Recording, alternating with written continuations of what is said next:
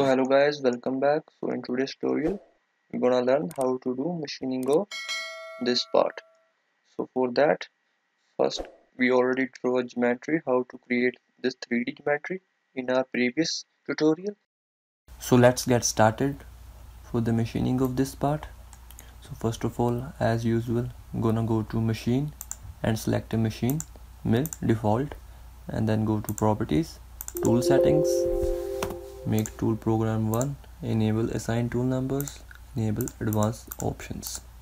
And then go to stock setup. And over here we're gonna click on all entities. And then add 0.5 to z to make our stock more than our part. So click ok. And over here the red box shows the stock setup which is bigger in z direction so as we put 0.5 more. So now we're gonna do tool paths. So for that click over here to expand gallery and then select area roughing. First we're gonna do roughing of this part. So for that we're gonna select roughing.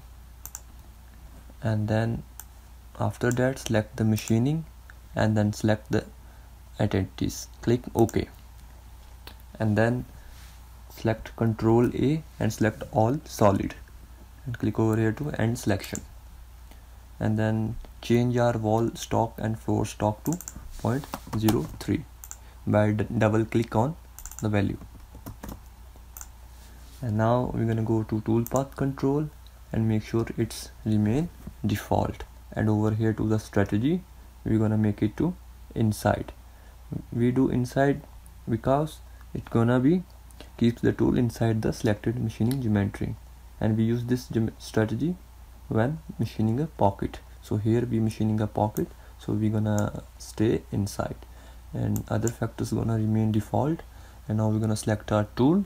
For that go to tool and then go to filter and make sure it's none. And then select our end mill bull and then it's gonna be equal to 3 8 which gonna be 0.375 click ok. And then go to select library tool. And then select our 3 8 bull end mill with chord radius 0.0625 click ok. And then comment over here. Roughing part. And then next gonna be our cut parameters.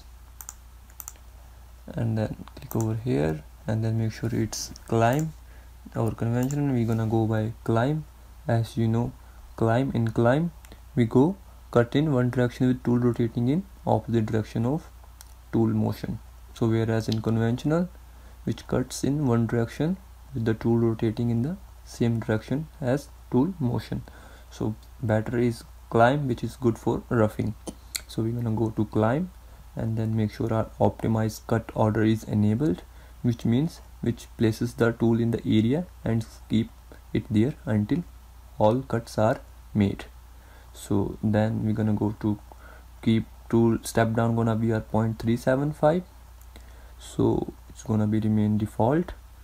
And then we're gonna go to our keep tool down within distance. Or percentage of distance gonna be 500 this means after passing one pass and if the distance between another pass is more than this it gonna go vertically up and then like z00 and then start that path.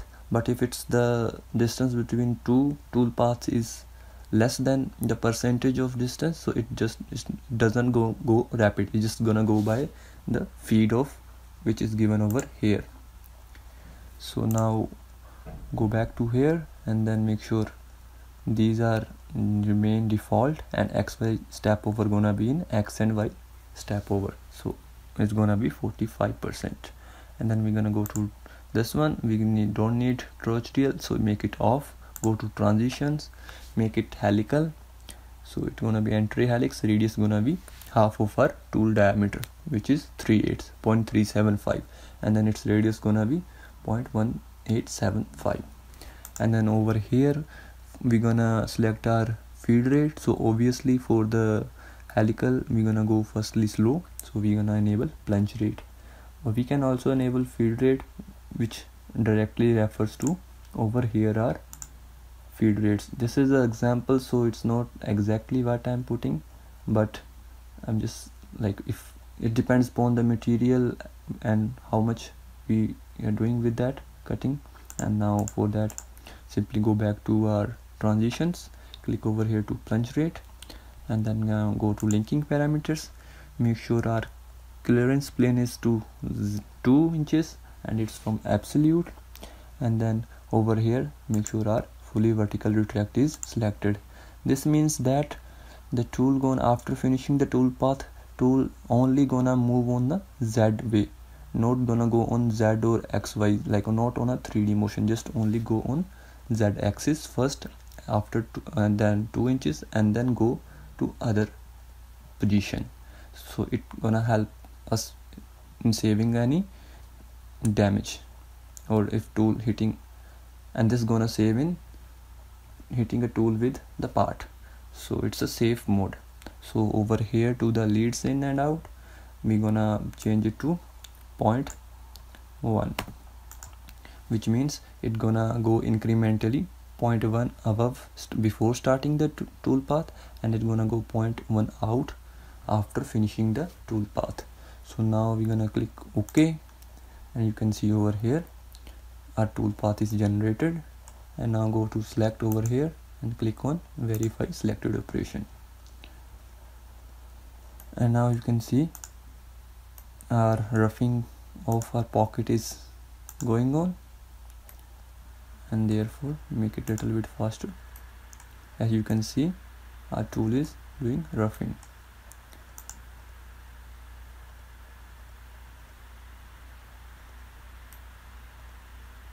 And now we can as you see in the parameters we're gonna minimize it.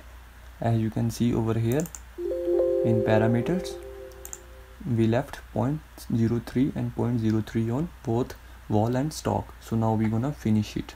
So for that we're gonna go to expand gallery button over here and then select for the horizontally we're gonna go to horizontal area toolpath and then click over here to wall stock to 0 floor stock to 0 and then do the machining select entities and control A similarly as we do in roughing toolpath so end selection by selecting all solid and now we're gonna go to toolpath control.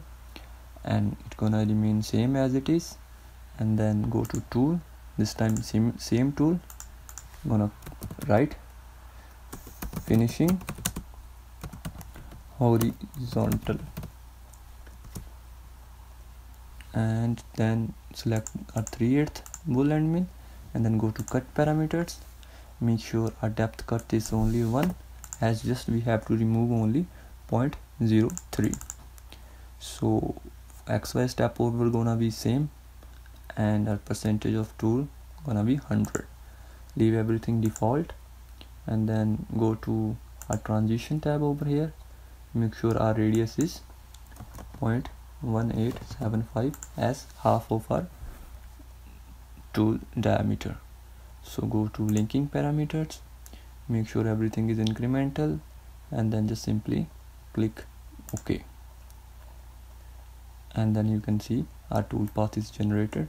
Now we're gonna go to select all toolpaths go to verify it and then click over here to verify tab and then go to color loop to enable color loop and then just simply start stimulation. So as you can see our horizontal is almost done so over here to for a better view we're gonna select all operations. So for this time we're gonna select our first tool path and another tool path and then go verify to see the difference. So click ok. So as you can see from the beginning this is our first tool path which is roughing. And then I'm gonna make it a little bit faster over here. And then our second gonna be our horizontal finishing. As you can see over here it's doing finishing the tool. So our horizontal is done. Now our vertical is left. For that click minimize this tab. Select alt t to hide the tool paths and you can take similarly press alt t to come to show the tool paths. So click over here to alt t for now to hide it and now we're gonna do vertical. We already did four horizontals finishing. So for that we just simply gonna copy the operation last operation. So deselect all operation and then select this one. As you can see over here a green tick shows this toolpath is selected whereas this doesn't select it. So now click right mouse button and then drag it over here and simply click over here copy after. This gonna copy the toolpath. And you can see over here this red arrow we're gonna make it in the bottom of this toolpath. For that click move insert arrow down one item. So as you can see our arrow is downward now. And now simply we're gonna change its parameters. So click over here. Or you can also select if you don't want to copy it select from here but just for a shortcut to save some time we're gonna do like that.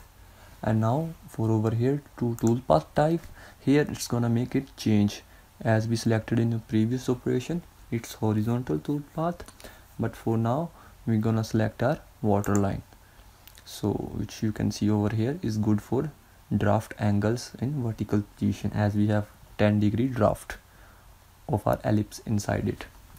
So and radius also so now go to model geometry. Similarly select this geometry control a and end selection.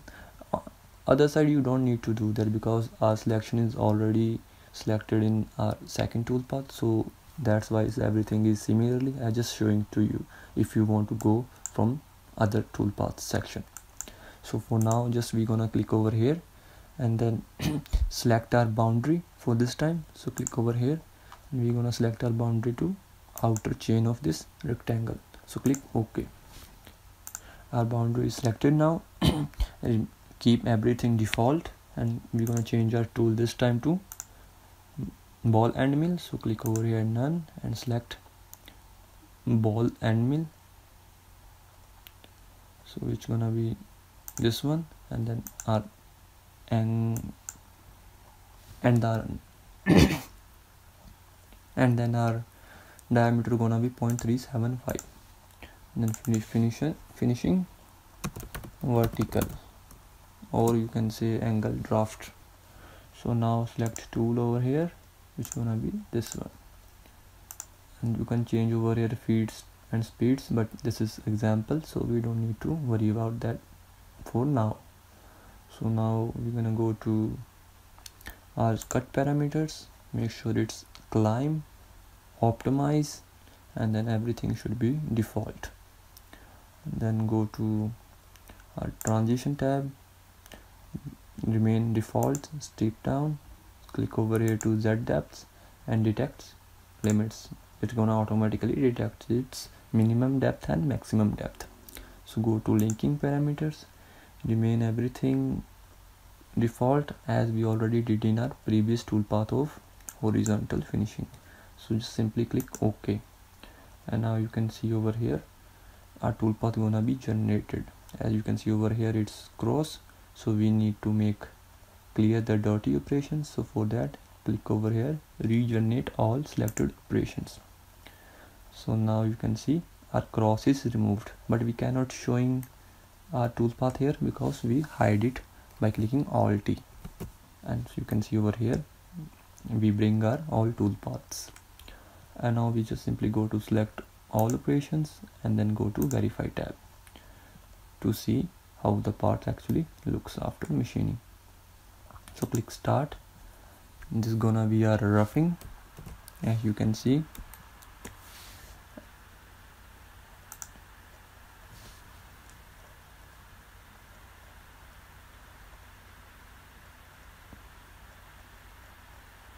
and now it's gonna be our horizontal toolpath which shows blue color. And then our waterline toolpath as you can see over here. So as you can see our machining of this part is complete. Thanks for watching guys. If you like this video please don't forget to subscribe our youtube channel. And see you in next video